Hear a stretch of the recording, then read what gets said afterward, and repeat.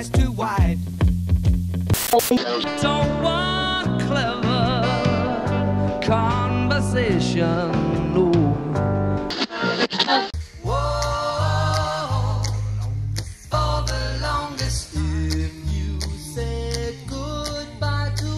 I remember being in the backseat of my parents' car listening to Billy Joel. Uh, I remember when I started taking piano lessons and I figured out that rather than play all the notes that were printed on the page, I could look at the guitar chords and I could fake it from there. And I know it sounds silly, but actually that's a lot of what Billy Joel did around the same age. So I feel a sort of kindred spirit in that sense. When I got to college, I took a course on ethnomusicology, which would eventually be what my PhD is in. And I loved it because that was the first music class where I got to write a paper about whatever I wanted. And I wrote about a Billy Joel album. The book is called Billy Joel, America's Piano Man. I'm very excited about it. It's a book about the music of Billy Joel. Billy Joel is this American singer-songwriter, uh, born in 49. He's still making music. He plays monthly in New York City uh, and elsewhere around the country.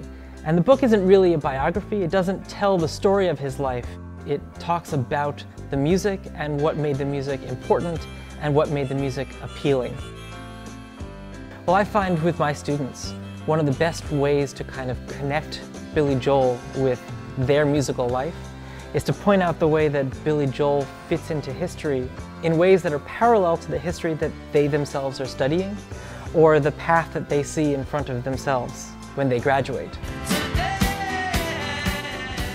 I love Allentown, that song about a generation growing up and realizing that their lives are, are not going to look like their parents' lives. I love Famous Last Words, the last track on his last album of popular music, where he's essentially looking back and saying, This was fun. I had a great time, but I'm going out on top. Sitting here in Avalon, looking at the pouring rain. Summertime is coming